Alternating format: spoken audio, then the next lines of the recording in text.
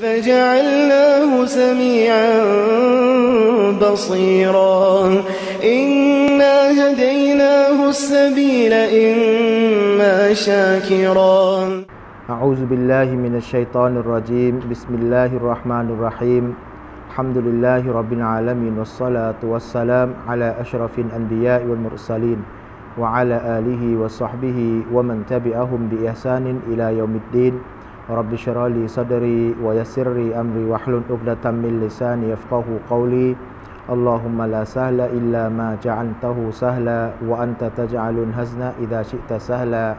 Rabbana zalamna anfusana wa illam taghfir lana wa tarhamna lanakunanna minal khasirin. Amma ba'd assalamualaikum warahmatullahi wabarakatuh. ขอความสงบสุขความสันติ ความเมตตาปราณีจากเอกองค์ลอสุบฮานะหัวตาลาได้ โปรดประสบกับท่านพี่น้องผู้ที่กำลังให้เกียรติติดตามรับชมรายการวิทยุเสียงอิสลาม ในวันนี้ครับอัลฮัมดุลิลละวันนี้เรากลับมาพบกันอีกครั้งหนึ่งนะครับกับรายการอธิบายอันกุรอาน หรือว่าตัฟซีรุลกุรอานสำหรับวันนี้เราก็จะได้ทำการพูดคุยต่อเนื่องนะครับสำหรับพี่น้องท่านใดที่ติดตามรายการวิทยุเสียงอิสลามก็ขอดนรงนะครับให้กับท่านพี่น้องได้ ทำการติดตามกันอย่างต่อเนื่องนะครับเผื่อว่าพี่น้องจะได้รับสาระวิชาการกันนะครับ ซึ่งในครั้งก่อนเนี่ยนะครับผมก็ได้นำเรียนกับท่านพี่น้องนะครับในเรื่องราวต่างๆ ที่เป็นแหล่งที่มาของการอธิบายอันกุรอานแล้วก็โดยเฉพาะอย่างยิ่งบรรดาสหาบะที่เขาทำการอธิบายอันกุรอานนะครับโดยในครั้งก่อนนะครับครั้งล่าสุดผมก็ได้พูดคุยกับท่านพี่น้องนะครับสหาบะหลาย ๆ ท่านพยายามที่จะหลีกเลี่ยง นะครับพยายามที่จะงดเว้นสำหรับในเรื่องราวที่ท่านอาจจะยังไม่มีความรู้ ยังไม่มีความเข้าใจในเรื่องของการอธิบายอันกุรอานพี่น้องครับ ยกตัวอย่างเช่น บรรดาชาวซาลฟุซอลและได้กระทำการนะครับได้บอกกล่าวนะครับ แล้วก็ได้ยึดคำพูดคำพูดของท่านอบูบักรซิดดิก ประโยคหนึ่งนะครับที่ท่านได้เคยกล่าวเอาไว้เกี่ยวกับเรื่องของการอธิบายอัลกุรอานโดยที่ท่านยังไม่มีความรู้ในเรื่องนั้นๆนะครับท่านอบูบักรบอกแบบนี้พี่น้องครับ ความที่ท่านเป็นคนที่มีความตักวา มีความยำเกรงต่ออัลลอฮฺ سبحانه وتعالى أي أرض تقلني وأي سماء تظلنيท่านอบูบักรซิดดิกบอกเอาไว้ จะให้ฉันอยู่จะหลบอยู่ส่วนไหนนะครับ จะมีที่ไหนในใต้ฟ้าเนี่ยนะครับหรือว่าจะมีแผ่นดินแห่งไหนที่จะให้ฉันหลบอยู่สักนิดหนึ่งนะครับกับการที่อะไรพี่น้องครับอิดาคุลตุเมื่อฉันกล่าว เมื่อฉันได้พูดฟีกิตาบิลละมาละอัลัมท่านอบูบักบอกว่า ถ้าหากว่าฉันกล่าว เรื่องหนึ่งเรื่องใดที่เป็นคำดำรัสของอัลลอฮฺสุบฮานะฮัวตาลา หรือ กล่าวในเรื่องที่เกี่ยวกับคัมภีร์ของอัลลอฮฺสุบฮานะฮัวตาลาในขณะที่ฉันนั้นไม่มีความรู้เนี่ยฉันไม่มีที่อยู่แน่ ไม่มีผืนฟ้าให้ปกคลุมหัวนะครับไม่มีผืนแผ่นดินให้ยืน ไม่มีที่ยืนในแผ่นดินอย่างแน่นอน ดังนั้นพี่น้องครับคำพูดของท่านอบูบักริซิดดีกประโยคนี้จึงเป็นคำยืนยันให้เราได้รู้และมีความเข้าใจนะครับท่านอิหมัมอัตตบารีได้กระทำการบันทึกเอาไว้นะครับในเล่มที่ 1 หน้าที่ 78 พี่น้องครับอันนี้เองเป็นเรื่องที่มีความสำคัญสำหรับพวกเราทุกคนที่เราได้รับจากบรรดาสหาบะผมบอกกับท่านพี่น้องแล้วในหลาย ๆ ครั้งนะครับสำหรับพี่น้องท่านใดก็ตามที่พี่น้องทำการเรียนทำการศึกษาเรื่องราวของอันกุรอานจำเป็น ที่เราจะต้องดูคำอธิบายนะครับ ไม่ว่าจะเป็นการเอาอันกุรอาน อธิบายอันกุรอานเอง หรือจะเป็นการเอาฮะดีษของท่านนบีมุฮัมมัดสุลลัลฮุอะลัยวะสัลลัมอธิบายอันกุรอาน นะครับตรงนี้คือสิ่งสิ่งสำคัญ ซึ่งบรรดาปวงปาดซาลาฟุตซอลและพยายามที่จะยึด แล้วก็เน้นหนักกันอย่างมากนะครับ พี่น้องผู้ศรัทธาที่เคารพรักทุกท่านครับ มันมีเหตุการณ์เกิดขึ้นในสมัยของสฮาบะซึ่งถ้าหากว่า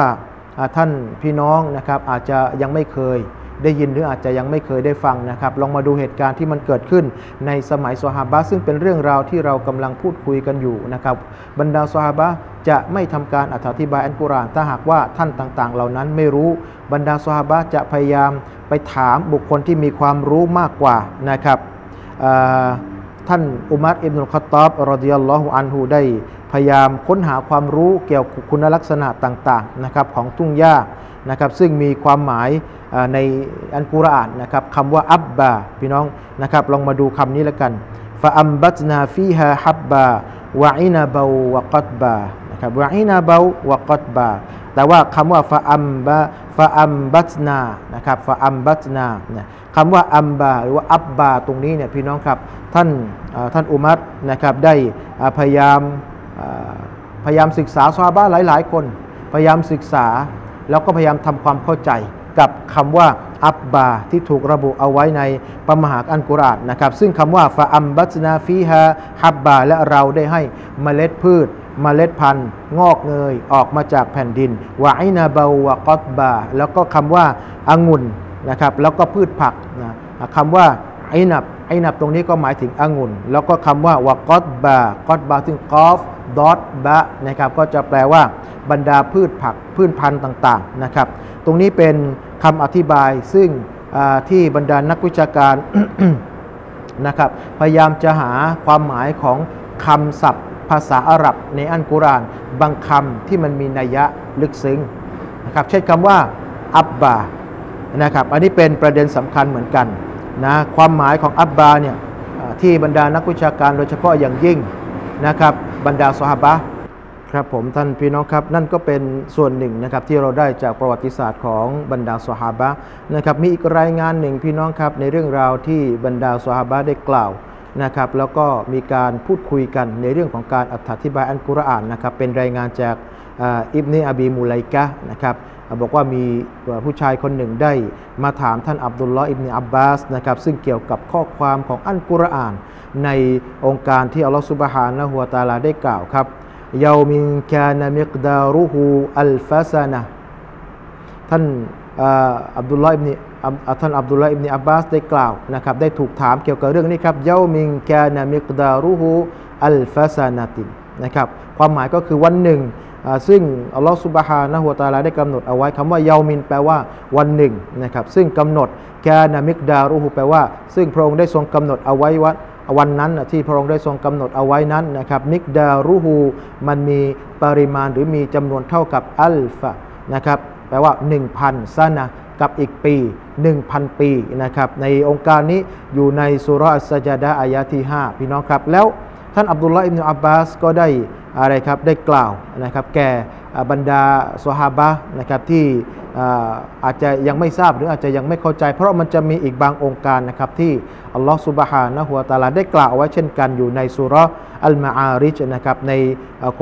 ข้อความที่อัลลอฮฺตาลาได้กล่าวเอาไว้ว่าวันหนึ่งในที่ถูกกำหนดเอาไว้นั้นก็มีประมาณนะครับเท่ากับ 50,000 ปีนะครับอันนี้เป็นคำถามนะครับจาก สฮาบะซึ่งเวลาที่เขามีความไม่เข้าใจหรือมีอะไรก็แล้วแต่ที่เกี่ยวข้องกับเรื่องของอันกุรอานนี่นะครับเขาก็จะมาถามบรรดาผู้รู้มาถามบรรดาสฮาบะที่เขาเป็นปราดในระดับนักวิชาการ ในสุรมาอาริจบอกว่าวันหนึ่งนะครับเทียบเท่ากับ 50,000 ปีส่วนในสุรสัจดะบอกว่าในวันหนึ่งก็เท่ากับเท่าไหร่นะครับอัลฟาซานะนะครับก็คือ 50,000 ปีกับอีก 1,000 ปี ดังนั้น มันจะต่างกันยังไงนะครับ แล้วมันจะมีอะไรที่แตกต่างอะไรคือความหมายของ 1 วันในวันอาคิรอในโลกหน้านะครับ ก็อันนี้เป็นคำถามนะครับ แล้วคนที่ถามอับดุลลาอิบเนอับบาสก็ได้กล่าวนะครับ กล่าวกับอับดุลลาอิบเนอับบาสว่าแท้จริงนะครับ ฉันได้ถามเพื่อที่จะให้ท่านอับดุลลาอิบเนอับบาสได้บอกนะครับ แล้วก็อัลลอฮฺสุบฮานะฮัวตาลาก็ได้ ประทานความเข้าใจให้กับท่านอับดุลลอฮ์อิบเนอับบาสท่านได้กล่าวเอาไว้นะครับ มีอยู่สองวัน ท่านอับดุลลอฮ์อิบเนอับบาสบอก ในวันกิยามะเนี่ยจะมีอยู่สองวันที่อัลลอฮฺสุบฮานะฮัวตาลาได้กล่าวถึงนะครับในสองอย่างด้วยกันในสองสำนวนด้วยกันนั่นก็คืออัลฟุหรือว่าอัลฟาซานาตินนะครับหนึ่งพันปีกับอีกประโยคหนึ่งที่อัลลอฮฺตาลาได้กล่าวนะครับอีกห้าหมื่นปี ดังนั้นทั้งสอง ทั้งสองวันนี่นะครับถูกกล่าวเอาไว้ในคัมภีร์ของอัลลอฮฺสุบฮานะฮัวตาลา และอัลลอฮฺสุบฮานะฮัวตาลาพระองค์ก็ทรงทราบดีถึงความหมายของวันทั้งสอง จะเห็นได้ว่าท่านอับดุลลาอิบนีอับบาส ไม่พยายามหรือว่าไม่อยากที่จะกล่าวเกี่ยวข้อง อะไรที่เป็นคำเกี่ยวข้องกับคัมภีร์อันกุรอาน ซึ่งถ้าหากว่าท่านไม่รู้ ท่านไม่สามารถที่จะเข้าถึงนะครับเข้าถึงความหมายที่แท้จริงได้นี่นะครับท่านอับดุลลาอิบนีอับบาสก็จะเลี่ยงพยายามไม่กล่าวนะครับแทนที่จะท่านจะอธิบายนะครับตามความเห็นความเข้าใจของท่านนี่ท่านก็สามารถกระทำได้ แต่อับดุลลาอิบนีอับบาสเลือกที่จะไม่อธิบาย เพียงแต่กล่าวว่าอัลลอฮ์กล่าวเอาไว้ในอีกองค์การหนึ่งบอกว่า 1,000 ปี ในอีกองค์การหนึ่งบอกว่า 50,000 ปี อันนี้เป็นความรอบรู้ของอัลลอฮ์สุบฮานะฮัวตาลา แล้วก็เป็นเดชานุภาพของอัลลอฮ์สุบฮานะฮัวตาลา ท่านอัลไลฟ์นะครับก็ได้กล่าวนะครับรายงานมาจากท่านยะยาอิบนุซาอิดจากท่านซาอิดอิบนุอิบนุไซยับนะครับอิบนุมูไซยับบอกว่า ความจริงแล้วเนี่ยเขาไม่เคยกล่าวอะไรนอกจากเรื่องที่เป็นที่ทราบกันดีจากอันกุรานก็คือไม่ได้กล่าวด้วยกับ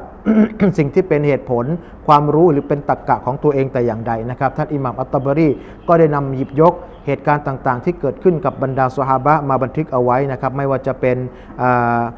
เล่มที่ 23 หน้าที่ 602 หรือจะเป็นเล่มที่ 1 หน้าที่ 86 พี่น้องครับ อันนี้เองเป็นสิ่งที่ทำให้เราสามารถมั่นใจแล้วก็ยืนยันได้ว่าเมื่อใดก็แล้วแต่ที่บรรดาสหาบะ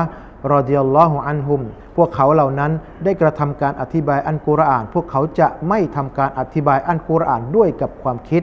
ด้วยกับสติปัญญา หรือด้วยกับความเห็นของตัวเอง บรรดา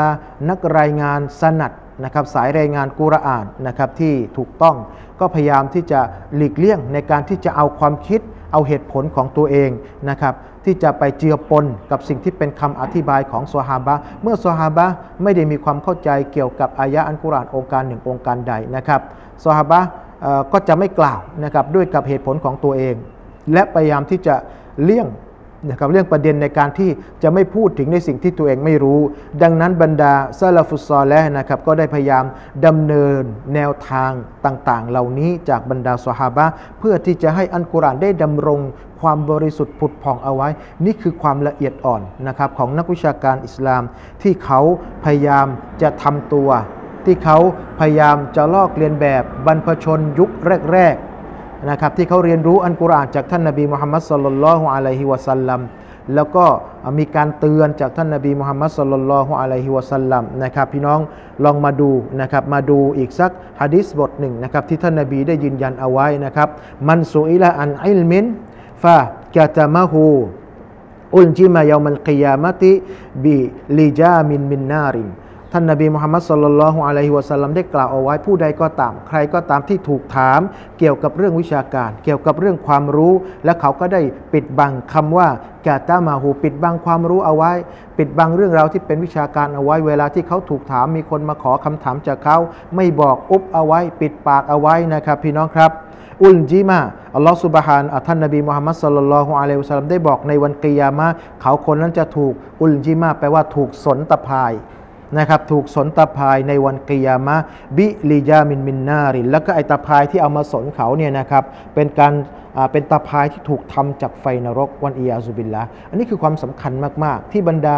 นักวิชาการในสายอัลลุสุนนะวันจามะโดยเฉพาะอย่างยิ่งบรรดาซาลฟุซอและพยายามที่จะหลีกหลีกเลี่ยง ความผิดพลาด ของตัวเองนะครับพยายามที่จะปกป้องตัวเอง เพื่อที่จะไม่ให้เข้าไปในวงโคจรของความผิดพลาด จากการที่เขาจะได้มีโอกาสอธิบายอันกุรานด้วยกับความรู้ความสามารถของตัวเอง ดังนั้นบรรดาสหาบะ บรรดานักวิชาการอิสลามที่เป็นยุคซาลาฟุซอลและพยายามที่จะหลีกเลี่ยงสิ่งต่างๆนะครับฮะดิษบทนี้อยู่ในการบันทึกของอิหม่ามอัลมัดนะครับในเล่มที่ 2 หน้าที่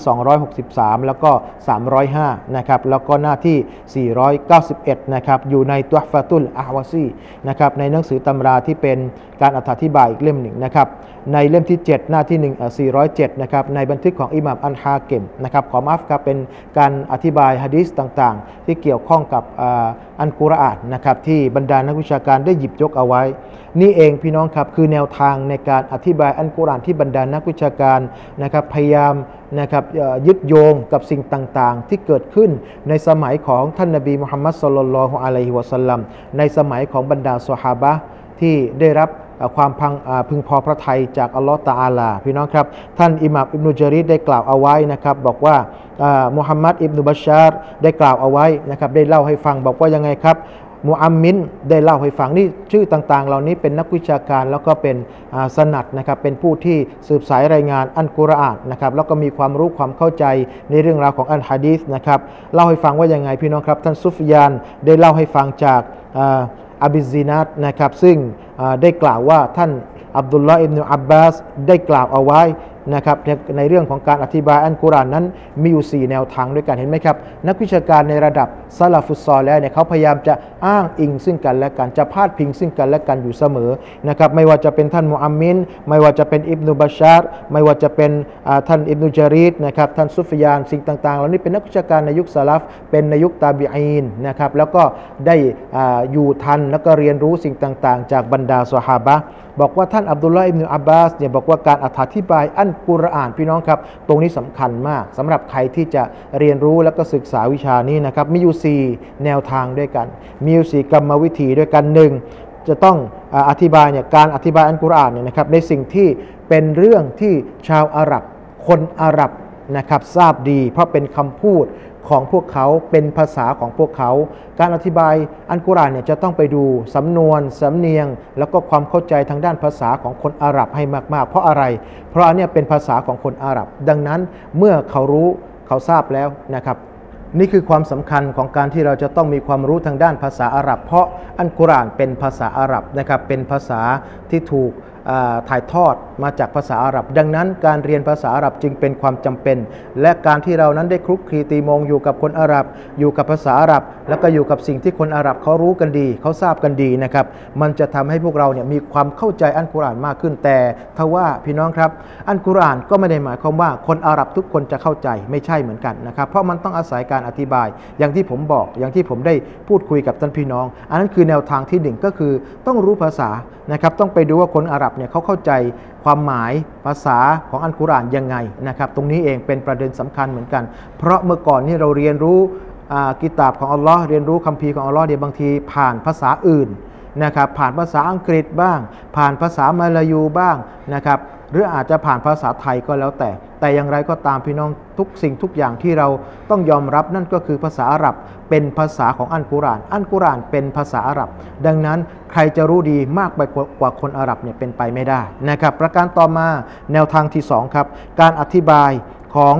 คนคนหนึ่งนะครับ ที่จะอธิบายในเรื่องราวของอันกุรอานเนี่ยจำเป็นนะครับจะต้องรู้นะครับจะอ้างว่าไม่รู้ไม่ได้ ดังนั้นพี่น้องครับ คนที่อธิบายอันกุรอานจะต้องรู้ที่มาที่ไป จะต้องรู้ภาษาจะต้องเป็นบุคคลที่เข้าใจในเรื่องราวของการอธิบายอันกุรอานนะครับนี่เองจำเป็นต้องเข้าใจนะครับ ดังนั้นอิสลามจึงห้ามนะครับห้ามพูดหรืออห้ามกล่าว สิ่งใดก็ตามที่มันจะเป็นสิ่งที่มาจากความคิดและเหตุผลของตัวเอง โดยเฉพาะอย่างยิ่งการอธิบายอันกุรอาน นะครับ ประการต่อมาแนวทางที่พี่น้องหรือใครก็ตามที่เขาจะทำการอธิบายอันกุรอานเนี่ยจะต้องอธิบายอันกุรอานที่บรรดานักปราชญ์หรือบรรดานักวิชาการนะเขาเขารู้กันเขาสอนกัน เขาบอกต่อกันมา เพราะสิ่งต่างๆ เหล่านี้มันคือความละเอียดอ่อนที่เราไม่สามารถจะไปตัดสายนะครับไม่ไม่สามารถที่จะไปตัดทอนความรู้ตรงนี้ออกไปได้ ดังนั้นพี่น้องครับ ผมเองได้รับความรู้จากครูบาอาจารย์ ครูบาอาจารย์ก็ได้รับความรู้จากครูบาอาจารย์ของเขาก็ไล่กันไปเป็น step เป็น step เป็น step แบบนี้แหละครับ มันคือความละเอียดอ่อนของการเรียนศาสนาและโดยเฉพาะอย่างยิ่ง มันคือความละเอียดอ่อนของการเรียน การศึกษาการอธิบายอัลกุรอาน ดังนั้นจำเป็นมากนะครับที่เราจะต้องเรียนกับผู้รู้ แต่อย่างผมเนี่ยคือผู้ถ่ายทอดนะครับไม่ใช่ผู้รู้เป็นผู้ถ่ายทอดให้กับพี่น้องได้รู้ได้เข้าใจสิ่งต่างๆ บางประการนะครับแบบเล็กน้อยมากๆเลย โดยเฉพาะในเรื่องของการอธิบายอันกุรอาน ประการต่อมาประการสุดท้ายครับ การอธิบายอันกุรอานนะครับที่เมื่อเราไปเจอ องค์การหนึ่งองค์การใดหรือคำหนึ่งคำใดที่เราไม่สามารถที่จะรู้ความหมายนะครับ ก็ต้องหยุดไว้แล้วก็ยกอันนั้นเป็นความรู้ที่มาจากอัลลอฮฺสุบฮานะฮัวตาลาเท่านั้น อันนี้คือหลักเกณฑ์และหลักการครับ การอธิบายอันกุรานนะครับที่เราอาจจะไม่ทราบ อาจจะไม่รู้ความหมายของอันกุรานไม่ว่าจะเป็นประโยคหนึ่งหรือว่าคำหนึ่งคำใดในอันกุรานเนี่ยนะครับ ให้พี่น้องเข้าใจเอาไว้เลย ถ้านักวิชาการหรือบรรดาซาลฟุตซอลและหรือตลอดจนบรรดาสหาบะ เขาไม่อธิบายอะไร เกินไปกว่านี้ก็จำเป็นที่เราจะต้องหยุดเอาไว้ แล้วก็ยกนะครับยกความหมายที่แท้จริงให้กับอัลลอฮฺสุบฮานะฮัวตาลาหลักการตรงนี้เขาเรียกว่าตัฟวีดนะครับก็คือการหยุดแล้วก็ยกความหมายที่แท้จริงให้กับอัลลอฮฺสุบฮานะฮัวตาลาดังนั้น นี้คือความสำคัญในการเรียนอันกุรอาน ในการศึกษาอันกุรอาน และการอธิบายอันกุรอาน ดังนั้นพี่น้องครับ เวลาหมดลงแล้ว อินชาอัลลอฮ์คงจากลากับท่านพี่น้อง ด้วยกับเวลาเพียงเท่านี้ครับ กลับมาพบกันใหม่กับรายการตับซีรุนกุรอาน วันนี้จากลาแต่เพียงเท่านี้ครับวัลลอฮุวะลิยุตตอฟิกวันฮิดายะฮ์วัสสลามุอะลัยกุมวะเราะห์มะตุลลอฮิวะบะเราะกาตุฮ์ فجعلناه سميعا بصيرا إنا هديناه السبيل إما شاكرا